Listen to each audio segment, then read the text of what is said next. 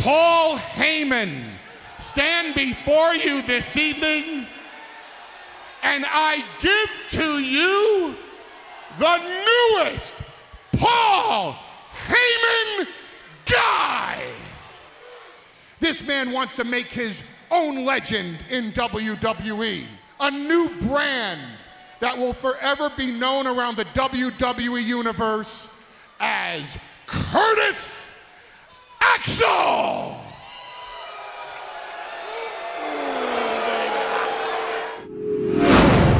Brodus, just want to get your reactions to seeing the debut of Paul Heyman's new third guy.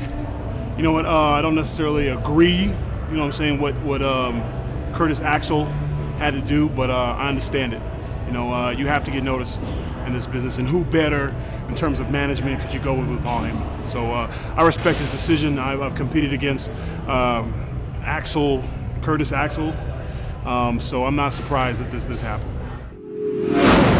Axel. Wow. I think the only name better than Curtis Axel would be like Max Power.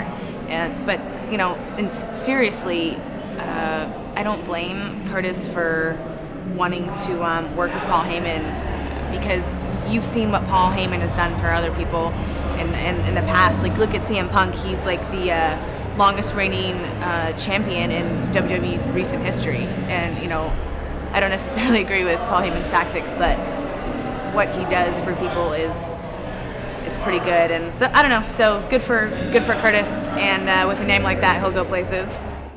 I don't like it. I'll be honest with you. Everyone's running around butchering the name. It's not Henning, it's Hennig. And all people say is, oh, the axe, the axe. How many people really know there was Larry the axe Hennig? People want to be pretenders and posers and try to think that they're in the know. Paul Heyman is going to take this guy make him a household name. I'm not sure if this guy can do it on his own. It's Hennig, not Henning. Obviously, the name Paul Heyman is synonymous with champions. And so everyone in the WWE Universe was wondering who's the next in line. And to see the intensity, Curtis Axel is the archetype. I mean, he has the look, he has the swagger. I can't wait to see how things evolve from here.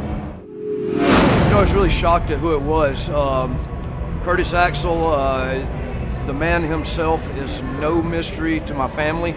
My family and his family have known each other for a long, long time. His grandfather, my father, uh, all my brothers, his dad, and uh, watched him kind of grow up in this business. And I know now, um, I don't hold it against him for the man he's taken up with and Paul Heyman. Uh, that's his business. I do understand putting food on the table, and uh, man's got to do what a man's got to do to put food on the table for your family. And uh, I wish him all the luck in the world. Sorry, Big E, for the for the interruption. I just wanted to get your reaction to seeing Paul Heyman bring out a third guy. My, my, my reaction to, to Paul Heyman's third guy. Uh, did you did you watch what just happened out there? I, I beat the number one contender for the World Heavyweight Championship on my own, and, and you're going to ask me about Paul Heyman? You to interrupt me eating to ask me about Paul Heyman's third guy when I just beat the number one contender? You're not too bright, are you?